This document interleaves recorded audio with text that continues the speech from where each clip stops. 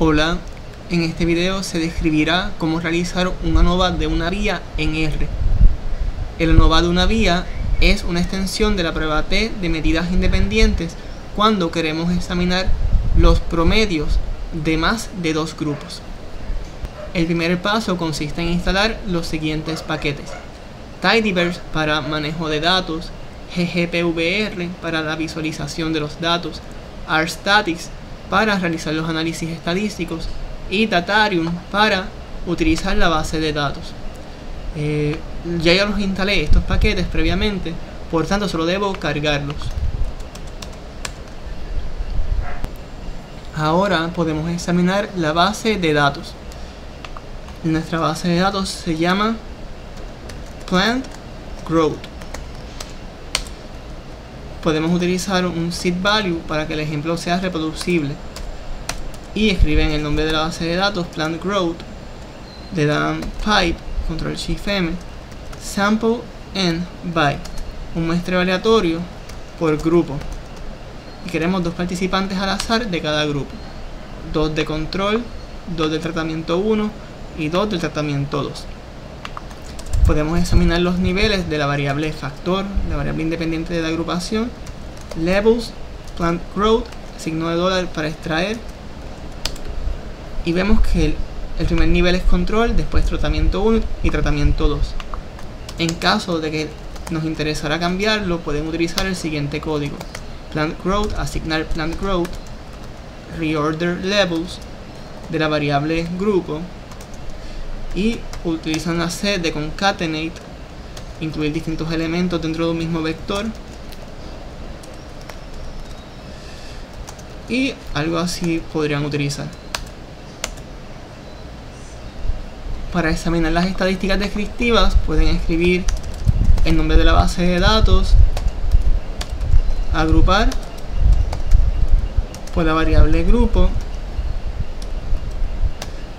pipe de nuevo, control shift M y le dan get summary stats y la variable dependiente es weight. ¿Qué tipo de variable estadística descriptiva queremos? Queremos el promedio y la desviación estándar. Aquí lo vemos. Para el grupo control, promedio de 5.03 es el peso.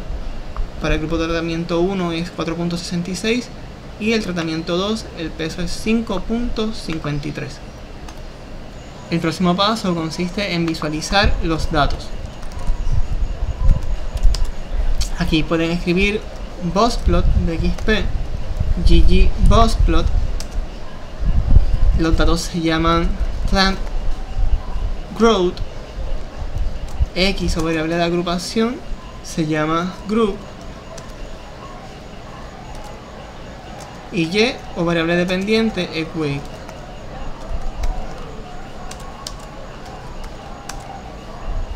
y aquí pueden ver cómo esos promedios que, se, que lo vimos ya de manera numérica se representan visualmente. Para realizar el ANOVA de una vía es necesario cumplir con varios supuestos. Primero, que no haya outliers o valores extremos en cada uno de los grupos. Podemos utilizar, por ejemplo, eh, escriben la base de datos, agrupar por, y escriben la variable de agrupación que se llama grupo, identify outliers en la variable dependiente que es peso y vemos que no hay ningún outlier extremo.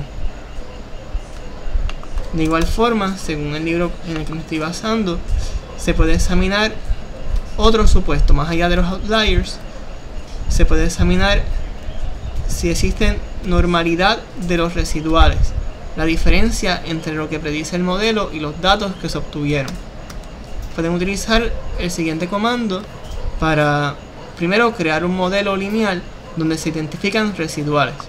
Así que pueden escribir, esto es para homogeneidad de varianzas,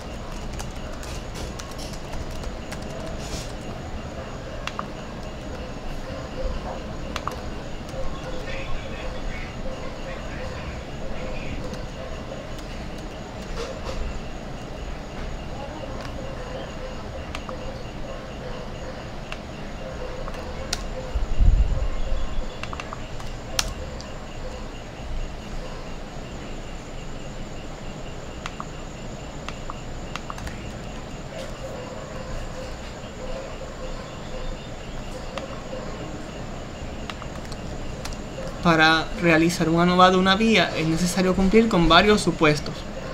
Primero, que no haya outliers o valores extremos. Eso podemos verificarlo utilizando eh, la siguiente, el siguiente código. Escriben el nombre de la base de datos, lo agrupan la base de datos por la variable que es independiente, que aquí en este caso es grupo, y lo que tienen que hacer es utilizar la función identify outliers y escriben la variable dependiente. Y no hay valores extremos, no hay ningún outlier. Luego podemos examinar la normalidad. Así que es normalidad de los residuales en este caso. Si se fijan, sería la normalidad, pues, normalidad de los residuales del modelo. Así que podemos utilizar el siguiente comando. Primero creamos un modelo lineal donde se predice la variable dependiente. A partir de la variable independiente pues con nuestra base de datos que se llama plant growth. Luego de eso podemos basarnos en el código utilizado eh, pues en este en, este caso y utilizamos un eh, un ggqqplot un qqplot de los residuales. Así que ggqqplot residuals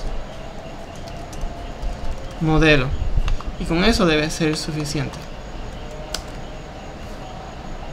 Pueden ver que los residuales o sea la diferencia entre lo que predice el modelo y los valores obtenidos están muy cerca de la línea de distribución normal y o por lo menos se encuentran dentro de este intervalo de confianza de 95%. Por tanto, sí, nuestros residuales pues demuestran que, los datos tienen pues una distribución normal.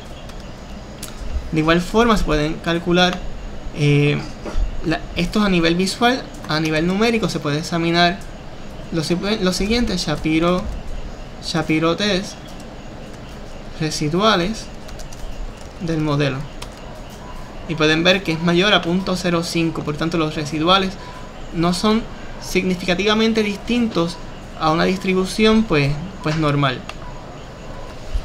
Entonces de igual forma se puede examinar el supuesto de normalidad por grupos.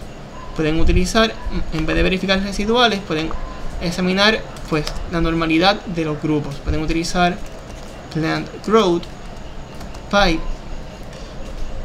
lo, agrupar la base de datos por la variable grupo. Y aquí Shapiro test weight pueden ver que para cada uno de los grupos pues es mayor a 0.05 todos los grupos tienen una distribución normal. Y de igual forma pueden examinarlo con un ggqqplot utilizando el siguiente código ggqqplot la data pues se llama plant growth. X es igual a weight. Y facet by group. Pueden ver que todos los grupos tienen una distribución pues normal Pueden verificar también el supuesto de homogeneidad de varianzas utilizando un plot de residuales versus valores que predice el modelo. Así que plot modelo y sería 1. Pueden ver que, como esto está muy cerca del, del 0, todos los valores están cerca de 0, pues se asume que sí hay homogeneidad de varianzas. De igual forma puede verificarse utilizando un Leven test, como pueden ver a, a continuación. Pipe, Leven test, y aquí pueden predecir weight, se predice a partir de group. Y esto es todo, deja corroborarlo. Y sí, es mayor a 0.05, por tanto se cumple con el supuesto de homogeneidad de varianzas.